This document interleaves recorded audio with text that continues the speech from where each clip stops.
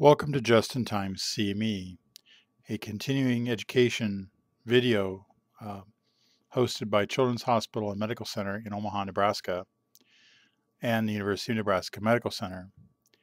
This video concerns the management of a newborn with newly discovered sickle cell trait found on abnormal newborn screening.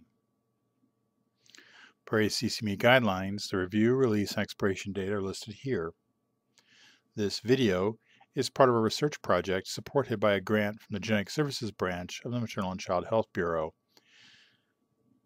The research project was approved by the Institutional Review Board of the University of Nebraska Medical Center and Children's Hospital Medical Center.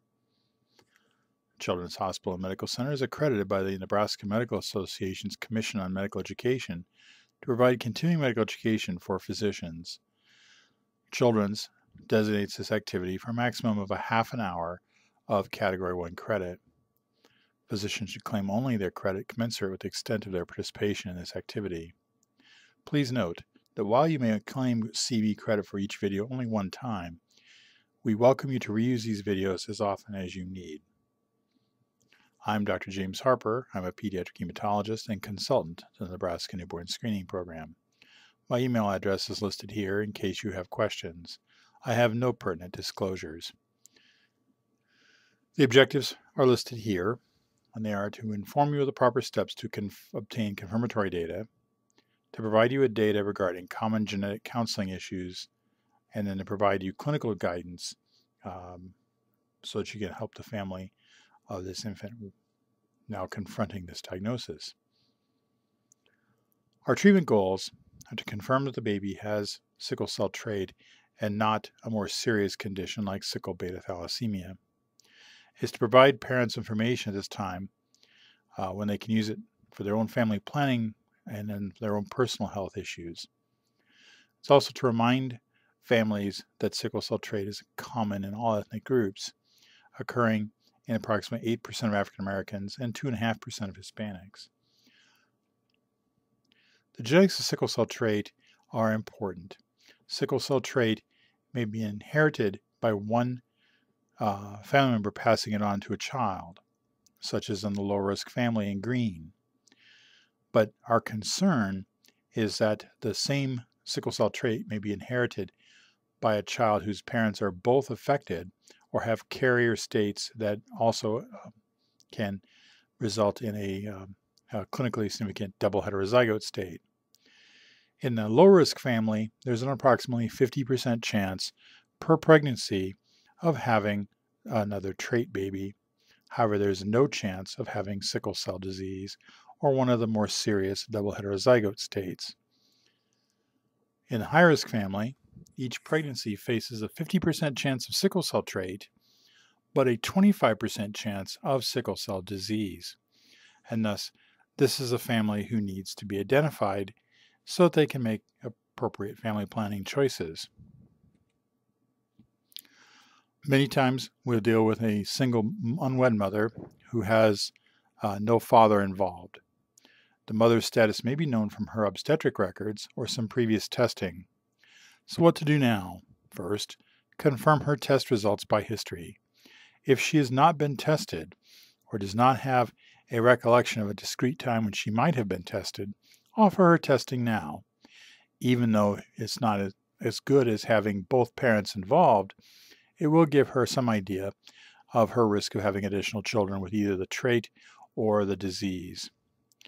Again, then, offer the mother and her family genetic counseling. Oftentimes, the mother may be the oldest of her sibling strip, and her younger siblings will not have um, their own uh, information. Remember, in Nebraska, newborn screening program began screening for sickle cell disease only in November of 1996, and thus the oldest children are now approximately eight years old. Um, and so many of the people of childbearing years have no idea of their status. This is the recommended screening algorithm for sickle cell related hemoglobinopathies published by the American College of Medical Genetics.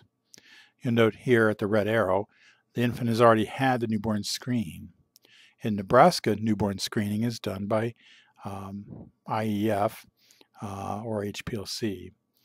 um, HPLC done at uh, PerkinElmer. Um, the next step is to confirm this finding by an alternate method.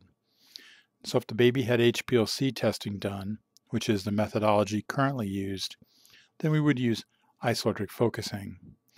This can be avoided uh, or simplified by, for the primary care doctor by simply ordering the uh, hemoglobin confirmation newborn test at the regional lab, and they will uh, handle it from there. If this is confirmed, no further testing is required, and the child can be managed according to well baby uh, care standards um, of current day. This is a copy of the American College of Medical Genetics Act sheet for um, sickle cell trait. FAS is the pattern and sickle cell carrier. The differential diagnosis listed here. The differential diagnosis is primarily that of sickle cell beta thalassemia versus sickle cell trait. this actually um, will list the top, the items you should take care of now. We'll give you a set of diagnostic evaluation studies and clinical considerations. While the vast majority of people with sickle cell trait have no clinical significance, older children and adults may have hematuria due to uh, injury to the uh, kidney.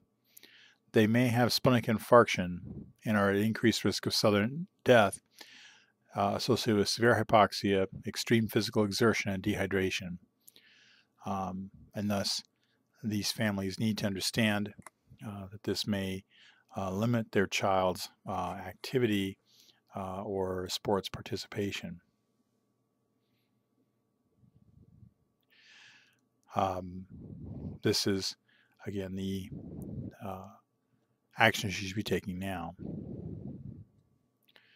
So, things to do now first, to contact the family and to inform them of the screening result, to offer education and reassurance that infants and young children do not have clinical problems related to sickle cell trait.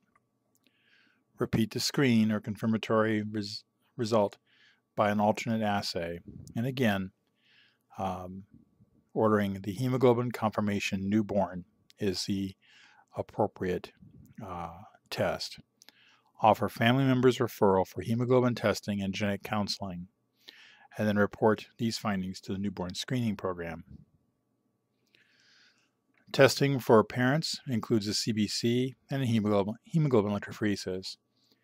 Um, the interpretation of this is in the newborn or in the confirmatory testing age um, is FAS, in which there's more fetal than adult, and there's more adult hemoglobin than sickle hemoglobin. And this would be consistent with a diagnosis of sickle cell trait. Parental testing should have a normal CBC and hemoglobin electrophoresis showing pattern with hemoglobin A and S only, and this would be consistent with sickle cell trait. Other parental findings of concern include the double heterozygote states, in which they inherit one gene for sickle cell and one gene for hemoglobin C or hemoglobin uh, D or beta thalassemia trait. Any one of those genes being harmless by themselves, but when co inherited with sickle cell trait, result in clinically significant problems. So, where to go for patient information? The Centers for Disease Control has an excellent website on staying healthy with sickle cell disease and a, um, a small section on sickle cell trait and guidance for uh, people's um, health and uh, personal future behavior. Reference sources include the Nebraska Newborn Screening Program, hematology consultation with pediatric hematology at these following numbers uh, 402 559 7257, and genetic counseling, which can be arranged at 402 559 6418. And then guidance for parents. Sickle cell trait is common, is rarely clinically harmful.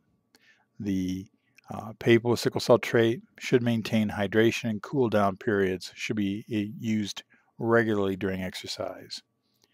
Sickle cell trait will not result in disability for their baby. Sickle cell trait is something that should be remembered, and thus they should write this down in their baby book or other records so that when the child is older and wants to have their own family, they understand what their risks are.